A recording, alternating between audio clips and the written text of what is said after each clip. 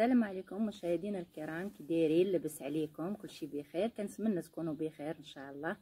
واليوم أنا جيتكم بواحد الوصفة غنخرجوا شوية من الطياب وغندخلوا الوصفات ديال اليدينا مع دابا عرفتوا الصهد والشمس كتحرق الجلد ديال الإنسان. غنعطيكم واحد الوصفة ديال العكر الفاسي والصابون البلدي بالنسبة لليدين اليدين ورجلين وكلشي كتحيد ديك الجلد الميتة وكتعطي رطوبة وكتحسي بيدك نقايه وزوينين. ومن بعد غنعطيكم واحد الوصفة ديال الوجه حتى هي بالعسل الحر والحليب والنشا. دابا كما قلت لكم هنا درنا الصابون البلدي ودرنا معاه العكر الفاسي وكان معكوه مزيان. كما كتشوفوا كان معكوه مزيان. وكنزيدوا عليه واحد شوية ديال المورد كما كتشوفوا مورد وكنتمنى تجربوا هاد الوصفة راها زوينة. زوينة وزوينة بزاف. اللي بغات ديرها حتى لوجهها راه ما كتأثر لا على وجه لا على حتى شي حاجة. ديرها وتمشي للحمام ديرها واحد ربع ساعة ومن بعد تمشي للحمام كما كتشوفوا ها نتوما. هانتوما لا كيبان لكم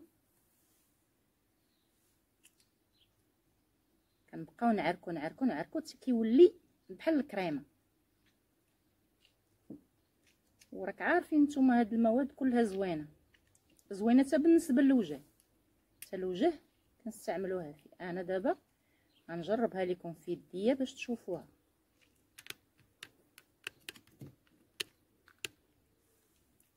باش ما نطولش عليكم أنا غنوريكم كيفاش. هانتوما كيفاش كتشوفوا. وكنبداو نعركو في يدينا بحال هكا. بحال هكا. بحال هكا أنا كنجرب لكم مع أنا كنخرج في الشمس بزاف. ما بين الدجاج وما بين هذا كيتحرق ليا شوية اللحم ديالي. هانتوما كيفاش كتشوفوا. صحيه زعما ماشي شي حاجة. كنبداو. نعركو مزيان.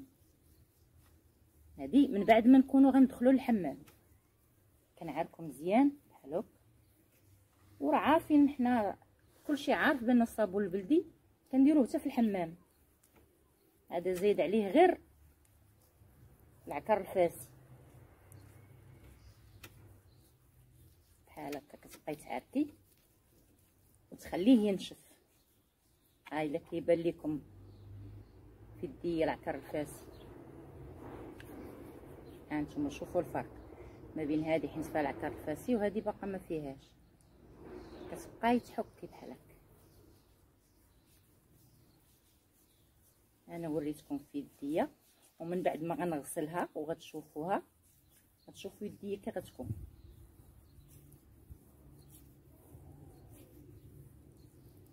هاكا نخليوها تتنشف. غندوز معكم الوصفه أخرى.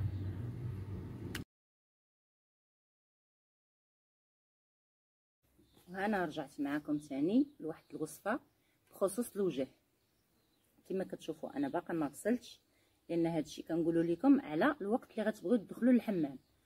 واللي عندها البشرة حساسة من العسل تفادى ما تستعملوش لأن أنا كاين شي واحد ما عندوش بحال دابا أنا بشرتي قابلة للعسل قابلة للحامض قابلة لكلشي. اللي عندها البشرة حساسة ما تستعملش العسل. تكتفي بالحليب ومايزينا هانتوما كتشوفوا هذه بالنسبة للوجه. كناخذوا واحد شوية نص معلقة هكاك ديال الحليب وكنزيدوا عليها واحد شوية العسل كما كتشوفوا ها هو وهذا راه عسل حر. وكنبقاو نعركوها بحال هكا حتى كيذوب لينا مع الحليب. كما كتشوفوا اللي ما عندهاش العسل الحر دير ديال الميركاتو. هنايا عندهم العسل كلهم مزيان. أنا هذا العسل جايباه من المغرب حر. وكناخذ واحد شوية مايزينا كما كتشوفوا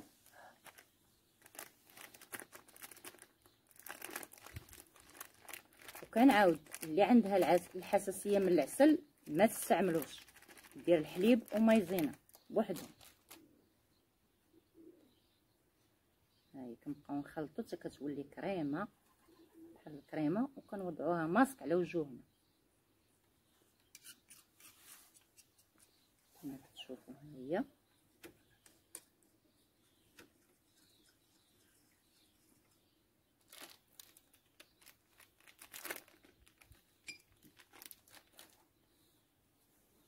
وجربوها راها زوينه اللي ما بغاش تجربها في وجهها جربها في يديها وفي رجليها وتشوف.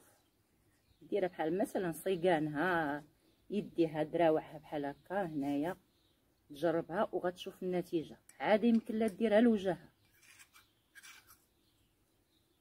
كما كتشوفوا بحال هكا. وكنبداو نهزو وكندوروا على بحال هكا على وجوهنا. أنا عير ما مساعدنيش الوقت باش غندير قدامكم في وجهي. ما فيها حتى شي حاجة.